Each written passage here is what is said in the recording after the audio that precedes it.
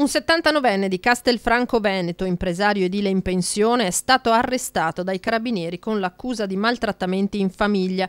Da diverso tempo, secondo il racconto della moglie, la malmenava, la picchiava. La sua ira era spesso e volentieri scatenata da piccole cose di ogni giorno, senza alcuna importanza. Ieri l'ennesima violenta aggressione con la vittima, che di anni ne ha 69, presa a pugni, calci e spinte. La donna ha chiamato i carabinieri che intervenuti nell'abitazione della coppia hanno bloccato il marito manesco e lo hanno condotto prima in caserma, poi in cella nel carcere di Santa Bona, dove è in attesa dell'udienza di convalida del provvedimento. Difficilmente potrà tornare sotto lo stesso tetto della consorte.